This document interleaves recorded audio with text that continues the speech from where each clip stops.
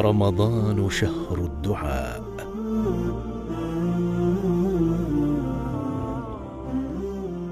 في سياق آيات الصيام جاءت لفتة عجيبة تخاطب أعماق النفس وتلامس شغاف القلب وتخفف عن الصائم ما يجده من مشقة وتجعله يتطلع إلى العوض الكامل والجزاء المعجل هذا العوض وذلك الجزاء الذي يجده في القرب من المولى جل وعلا والتلذذ بمناجاته والوعد بإجابة دعائه وتضرعه. حين ختم الله آيات فريضة الصيام بقوله سبحانه وإذا سألك عبادي عني فإني قريب. أجيب دعوة الداع إذا دعان. فليستجيبوا لي وليؤمنوا بي لعلهم يرشدون. هذه الآية تكسب في نفس الصائم أعظم معاني الرضا والقرب والثقة واليقين ليعيش معها في جنبات هذا الملاذ الأمين والركن الركين. وتدل دلالة واضحة على ارتباط عبادة الصيام بعبادة الدعاء وتبين أن من أعظم الأوقات التي يرجى فيها الإجابة والقبول وشهر رمضان المبارك الذي هو شهر الدعاء.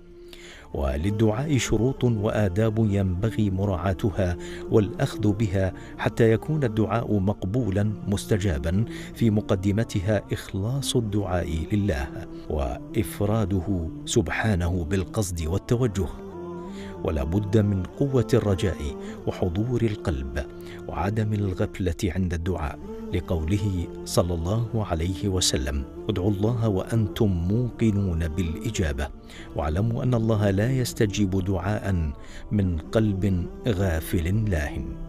وعلى الداعي أن يجزم في المسألة ولا يتردد. ولا يستعجل الإجابة لقوله صلى الله عليه وسلم لا يقل أحدكم اللهم اغفر لي إن شئت ارحمني إن شئت ارزقني إن شئت وليعزم مسألته إنه يفعل ما يشاء لا مكره له. وقوله صلى الله عليه وسلم يستجاب لأحدكم ما لم يعجل يقول قد دعوت ربي فلم يستجب لي.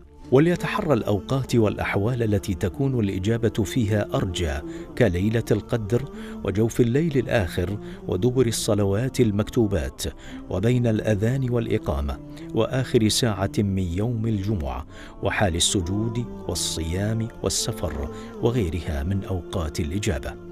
وعليه أن يلح في دعائه وتضرعه ويعظم المسألة ويظهر الفاقة والمسكنة ويدعو في جميع الأحوال من شدة ورخاء ومنشط ومكره ويكرر دعاءه ثلاثا قال صلى الله عليه وسلم إذا تمنى أحدكم فليكثر فإنما يسأل ربه عز وجل.